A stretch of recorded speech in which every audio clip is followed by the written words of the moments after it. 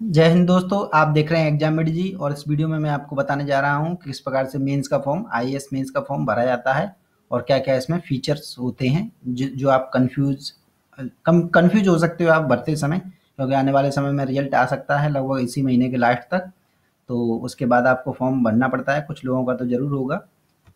तो आप पहले से ही सोचना स्टार्ट कर दें कुछ चीज़ें तो उसके लिए मैं ये वीडियो बना रहा हूँ। तो चलिए आइए स्टार्ट करते हैं। देखिए, सबसे पहले तो आपको नाम भरना पड़ता है अपना।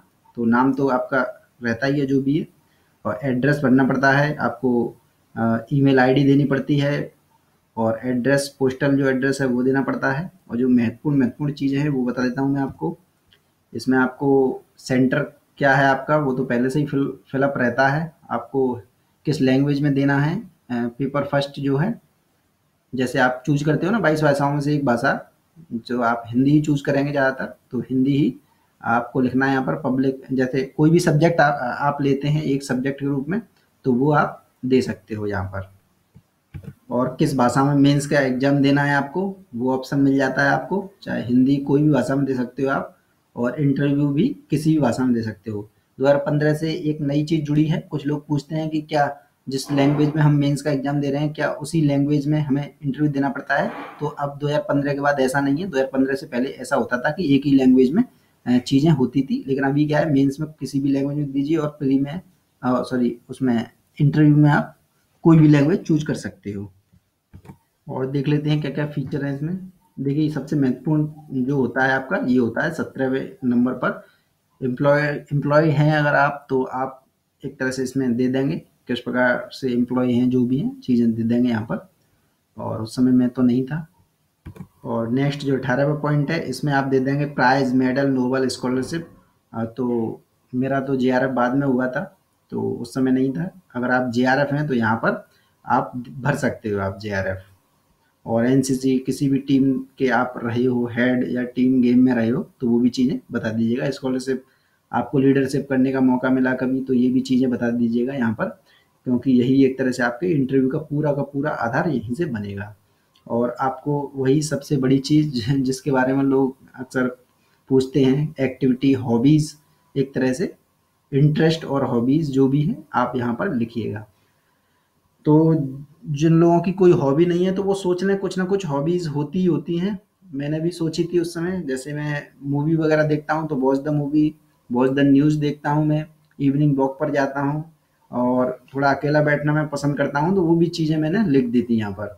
और इसका इंटरव्यू पे कोई ज़्यादा फ़र्क नहीं पड़ता है बहुत ही बेसिक क्वेश्चन आते हैं और इससे आप जो भी है आप, आप अपने दिन भर का एक तरह से रूटीन निकालिए आप करते क्या हो।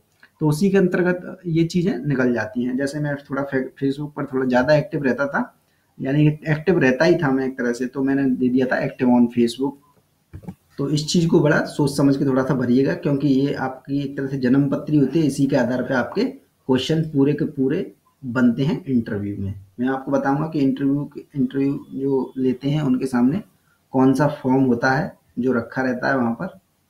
और सबसे महत्वपूर्ण जो पॉइंट होता है बीसवा, जिसमें आपको कैडर भरने पड़ते हैं। कैडर आपको पता होगा क्या होते हैं? ये एक तरह से स्टेट होते हैं जहाँ पर आप मांग करते हैं अपनी सर्विसेज़ की। तो ये आई का कैडर अलग होता है आईपीएस का अलग होता है। जैसे मान लीजिए पहले नंबर पर मैंने यूपी रखा था तो मैंने पहले नंबर पर यूपी कर दिया था, जैसे सत्रहवें नंबर पर आंध्र प्रदेश तो इसका भी, इस, इसका आई का और इसका अलग अलग कर सकते हो आप। और और चाहे तो एक जैसा रहने दीजिए।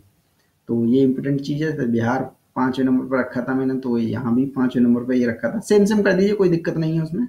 बस पहला और दूसरा कैडर जो है मेन है। उन्हीं में से ज़्यादातर लोगों को मिल जाता है। बाकी तो फिर उनके ऊपर होता है कि कहाँ पर वो कैडर अलॉट करते हैं। और एक पॉइंट ये इम्पोर्टेंट होता है कि आपको सर्विसेज़ जो भरनी पड़ती हैं, और आपको प्रेफरेंस देनी पड़ती हैं सर्विसेज़ को। तो ये बहुत ही अच्छे ढंग से भरना, क्योंकि बाद में ये चेंज नहीं होता है। और कई लोगों को आपने सुनते हुए इंटरव्यू में मिला होगा कि गलत कैडर भर जाने के कारण कोई भी सर्विसेज़ अलॉट नहीं हो पाई है। और ऐसा ही हुआ था 2014 के जो फिफ्थ रैंक आई थी उनकी आ, उस केस में ऐसा ही हुआ था। उनको सर्विसेज़ जो है अलॉट नहीं हो पाई थी। यानी कि उन्होंने पहले जो एग्ज़ाम दिए थे उसमें नहीं भर पाया भर पाया। उन्होंने बताया था भर नहीं पाए थे उन्होंने। केवल एक ही अटेंड किया था केवल ये आई का बाकी के अटेंड नहीं किए थे। इस वजह से उनको कोई भी सर्विस नहीं मिली थी। जैसे सभी लोग जो हैं आईएएस को ही प्रेफरेंस देते हैं पहले नंबर पर और इंडियन फॉरेन सर्विस होता है, इससे आप दूसरे नंबर पर रख सकते हो, चाहे तो। मुझे तो पसंद नहीं था ये तो नॉट ऑप्टेड मैंने लिख कर दिया था यहाँ पर। छोड़ देते हैं इसे। नाइन नाइन कर देते हैं इस जगह नाइन नाइन निन्यानवे कर देते हैं, जिससे अपने आप ही ये नॉट ऑप्टेड लिखा आ जाता है। और इंडियन पुलिस सर्विस सेकंड जैसे चुना, और थर्ड मैंने आई आई चुना था कस्टम एंड एक्साइज वाला सेंट्रल एक्साइज वाला। और उसके बाद मैंने तीसरे, चौथे नंबर पर जो है ये सर्विसेज़ ऐसे आपको अलॉट यहाँ पर चुननी है मतलब। ये अच्छे से ढंग से आपको लगभग पच्चीस ये होती हैं, मैंने यहाँ पर दिखाई नहीं है, सारी की सारी एक ही स्क्रीन शॉट ले लिया है मैंने तो उसी में मैंने बताया है। तो लगभग पच्चीस की पच्चीस सौ भरिए आप, अगर आपका हो जाता है तो पच्चीस की पच्चीस सौ भरिए, कोई दिक्कत नहीं है। और जो इंटरव्यू बोर्ड के सामने जो सीट रहती है, वो रहती है आपकी ये वाली। ये मैंने स्क्रीन शॉट करके इसके नीचे रहता है, ये वाला पोर्सन जो है, इसी के नीचे है। तो यहाँ पर आ नहीं पा रहा था, इस वजह से मैंने स्क्रीन करके अलग अलग पार्ट में कर दिया है। तो इसमें आपका सारी चीज़ें रहती है, देखिए रोल नंबर तो रहता ही रहता है आपका एग्जामिनेशन नेम रहता है और आपका नाम रहता है डेट ऑफ़ बर्थ रहती है, आपका ऑप्शनल सब्जेक्ट क्या है, वो रहता है, आप कहाँ से हो, वो रहता है और जो मैंने आपको महत्वपूर्ण चीज़ें बताई थी, जो हॉबीज़ वगैरह और आप एम्प्लॉय हैं या नहीं हैं, आपको को इस स्कॉलरशिप में, मेडल और प्राइजेस वगैरह मिले हैं या टीम और या एनसीसी में रहे हैं आप, या फिर लीडरशिप करने का मौका मिला है तो वो सारी चीज़ें रहती हैं।